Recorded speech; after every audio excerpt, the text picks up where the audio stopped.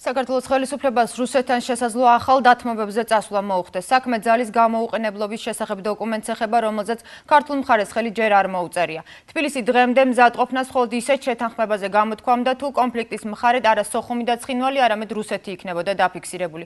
გავრცელებული ცნობით კი შესაძლოა თბილისი მოსკოვის ახალ წინადადებას დათანხმდეს, რომლის მიხედვითაც დოკუმენტში კონფლიქტის მხარეებად ოკუპირებული რეგიონებიც იქნება წარმოდგენილი.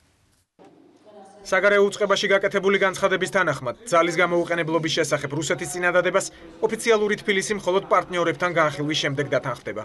ამ საკითხის ფორმალიზებაც უნდა მოხდეს გარკვეული დოკუმენტის სახით და ჩვენ წინას არ გავუსწრებთ მოვლენებს და ვნახავთ რა წინადადება იქნება რუსული მხარის მიერ წარმოქმნილი და შემდგომ ალბათ ჩვენს პარტნიორებთან ერთად ვიმსჯელებთ ამ საკითხზე. რუსეთის მხრიდან ახალი დოკუმენტის შესახებ ინფორმაცია 12 მაისს სოხუმში ვიზიტისას ჟენევის მოლაპარაკებათა თანათავმჯდომარემ ანტი ტურინენმა გაახმაურა. რუსეთმა ძალის გამოუყენებლობის შესახებ დოკუმენტის შემოგთავაზა არის მონაცემები, რომ ქართული მხარე ამასთან დაკავშირებით თავის წინადადებებს ამზადებს. ჩვენ გვაქვს გარკვეული სიგნალები, რომ ერთობლივი დოკუმენტის მომზადებას შევძლებთ. საქართველოს პარლამენტში აცხადებენ, რომ თბილისი თავდაუსხმელობის დოკუმენტს ხელს მხოლოდ მაშინ მოაწერს, თუ მხარედ მხოლოდ რუსეთი იქნება წარმოქმნილი.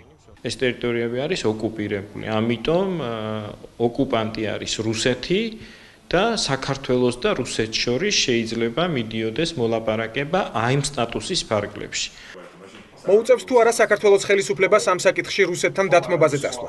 ექსპერტების განცხადებით, გამორიცხული არ არის, რომ ამჯერად დოკუმენტში აფხაზეთიც და ეგრეთ წოდებული სამხრეთ ოსეთი მხარეებად იყვნენ დაფიქსირებული. რაღაც გარკვეული ოფიციალურ დონეზეც კი რაღაცა ესე კონტაქტები ჩვენ განვავითაროთ დე-ფაქტო ხელისუფლებებთან. მოდის ასეთი ინფორმაცია, რომ საქართველოს თანხმდება ძალის გამოყენებლობის შესახებ ხელშეკრულებაზე. ანუ ვის მხრიდან მოდის ამ შემთხვევაში დათბობა? შესაძლებელია შეიქმნას ესეთი ფორმატი, როდესაც დოკუმენტს მოეწერება ხელი, რომელშიც როგორც მხარეები, ესე იგი რუსეთის გარდა, რუსეთი აუცილებლად უნდა იყოს, როგორც მხარეები მონაწილეობენ, თქვათ, აფხაზური და ოსური მხარე.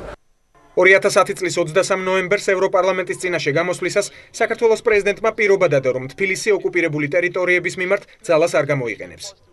მოაწერს თუ არა ქართული მხარე თავდაუსხმელობის შესახებ დოკუმენტს ხელს, ამის შესახებ ჟენევის მოლაპარაკებათა მორიგ რაუნდზე გახდება ცნობილი.